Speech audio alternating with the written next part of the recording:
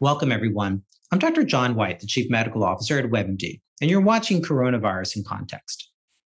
Are we going to need boosters for sure? When are we going to see vaccination for kids under 12? And what is everyone talking about in terms of ivermectin? To help answer some of these questions, I've gone straight to the source. My guest today is Dr. Janet Woodcock. She's the acting commissioner of the US Food and Drug Administration. Dr. Woodcock, thanks for joining me. It's nice to see you again. Great seeing you. Dr. Woodcock, let's start off with the biological licensing application for Pfizer. It's now fully approved, their vaccine for people 16 years of age and older. You mentioned in a media conference call that this was a game changer, really a big deal. Why does full approval matter? Well, I think this is a milestone in our fight against COVID 19. Um, we have now a vaccine that's fully approved by the FDA. There are groups of uh, folks out there, polls have shown that uh, we're holding out, waiting for a full approval before they would get vaccinated. And we know the most important weapon we have against this virus and the way to control the pandemic is to get as many people vaccinated as possible. So this is yet one additional step uh, in in making that fight be effective.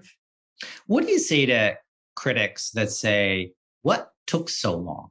What what what's different?" Eh, because let's be honest, many people don't understand the FDA process. So, what didn't the FDA have several months ago when they authorized the vaccine that they got to enable them to give full approval?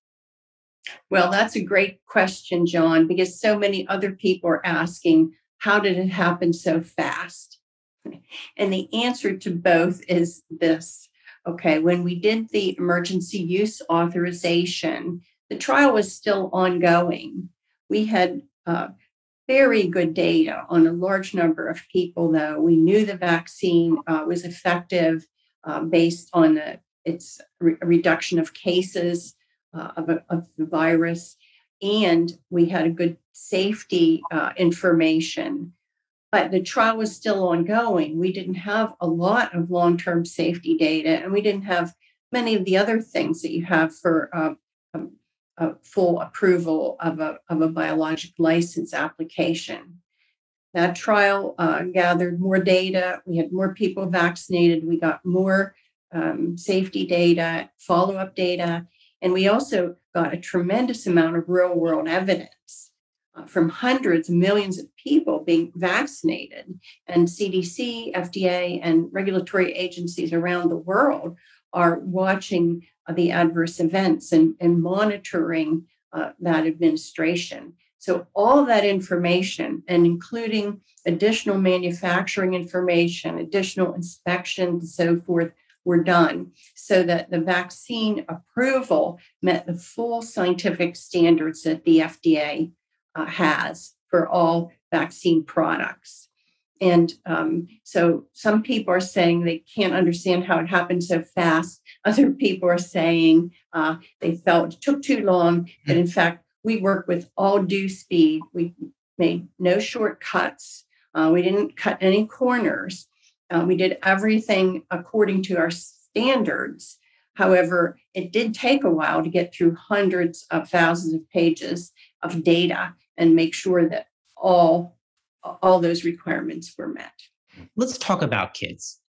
300 kids are hospitalized a day. That's not something that we saw even at the height of the pandemic. Everyone wants to know about where are we in terms of timing for vaccination for kids under 12. Previously, FDA officials had said that vaccination for kids under 12 would go to an advisory committee. Has there been any final decision made uh, about the role of the advisory committee in terms of reviewing the data for kids under 12? Well, I think whoever said that said it because it may be likely that we would need to have a public discussion with our advisors about children under 12. Um, I can't speak to when such um, a review might take place and be finalized. Obviously, we are going to move with all haste for the younger children when we uh, get applications, and we will uh, get them uh, analyzed as quickly as possible. Yeah. But children raise additional questions. They're not small adults, as we've learned over the years. They have to be studied separately. They will need different dosage forms, lower doses, and they might have reactions and safety issues that could be different than adults. And so all these uh, questions are going to depend on the data and what is actually found in the trials. But as soon as we get that information from the companies, we will jump on it. I've been hearing from parents around the country every day how important it is to them to get their children vaccinated as soon as possible as they go back to school. Now, because Pfizer is fully licensed, there are some advocates who are saying that Pfizer should be used off label for kids under 12. What's your message to those parents who are thinking that's a good idea, or those pediatricians, and there are some out there and, and they're saying it's legal to do so, that are considering vaccinating kids under 12 off label? Yes, well, there are two separate kinds of considerations. Um, the first is, you know, it's really not appropriate because, as I just said, you may need different doses. That is extremely likely. And we don't have the safety information on the younger age groups. And until we get those um, squared away and we understand both proper dosing for, for younger children and um, the safety profile of the vaccine as well as its efficacy profile, I, it would not really be appropriate to, to expose children to the vaccine. The second issue is unlike most drugs that can be used freely off label by clinicians, th- this vaccine is being distributed by uh, the US government through the CDC, and there's a provider agreement in place and under that provider agreement, there are certain protections, uh, you know, liability and so forth that adhere to that. If you uh, deviate uh, from that, then these things may not be the case. Even um, compensation potentially for uh, someone who suffers an adverse event. So I would refer people to the CDC uh, for further information on that. But those are additional considerations. This isn't just like a drug that's available uh, for uh, use out, you know, in the public. But Dr. Woodcock, I'm going to go back to it. Everybody wants to know. Parents want to know. School districts want to know. Dr. Fauci has said he expects there to be vaccination of kids under 12, perhaps by the end of the year, early winter. Do you think that's realistic? I would certainly hope so but it depends on you know the trials getting done that the results are favorable that we feel comfortable everyone feels comfortable that don't that new safety questions do not arise that the companies are able to manufacture the dosage forms and have them available uh, and so forth.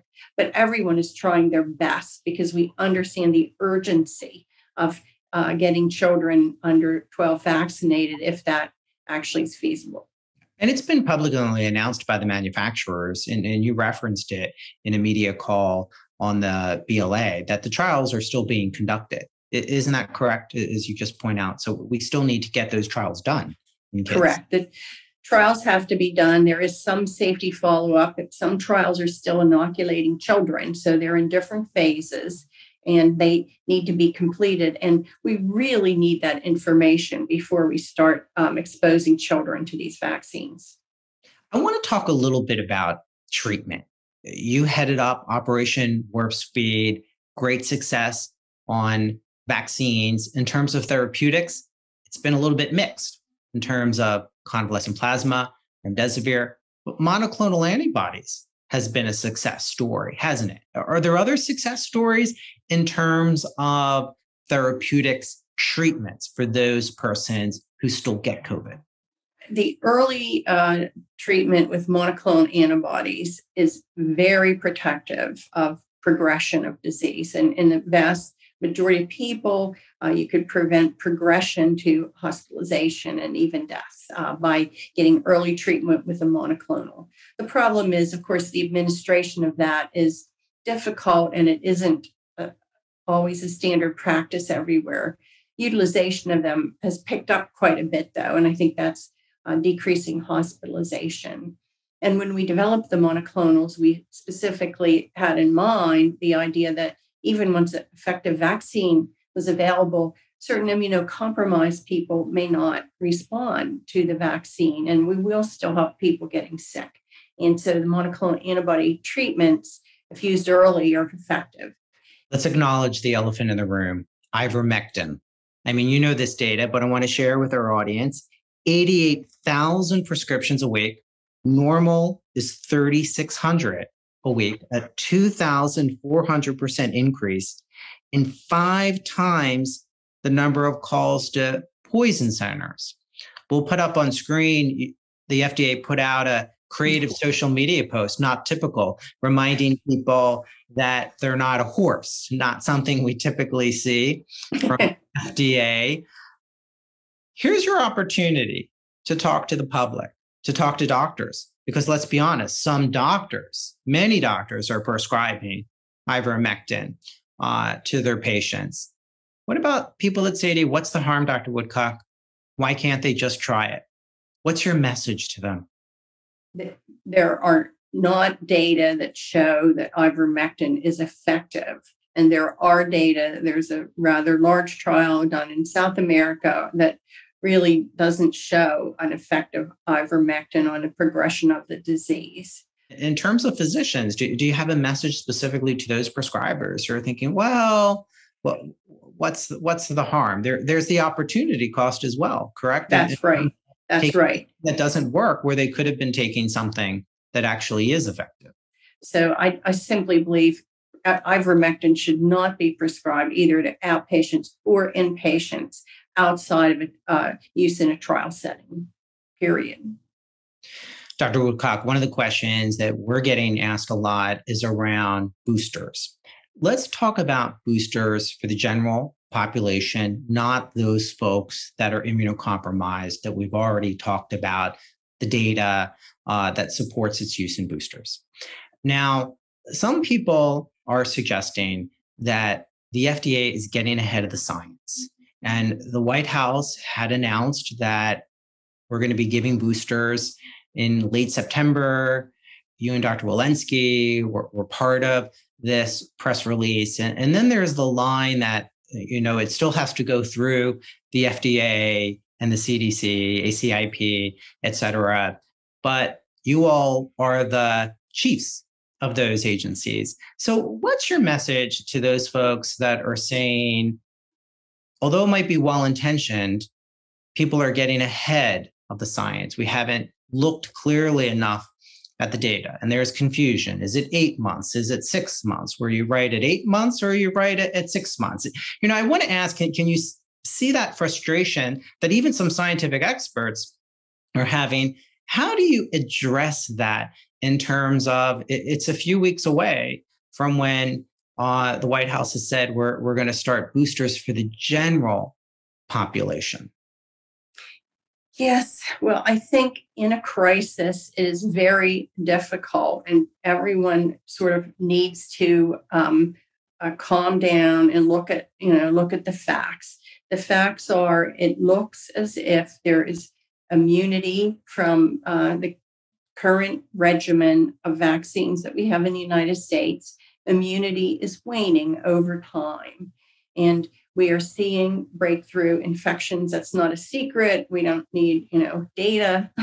um, we need data, but for the general public, uh, it's obvious that there are people acquiring infections who have been fully vaccinated, and there are a few people who are getting uh, to need hospitalization who've been fully vaccinated. Now, even um, right after vaccination, the vaccine doesn't work in everyone, right? And some people don't respond and still get ill. It's not 100% effective. So, So why did why would you announce this? Well, we need to have a plan, uh, and the plan um, would involve uh, the vaccination of very large numbers of people in the United States with a booster dose, right?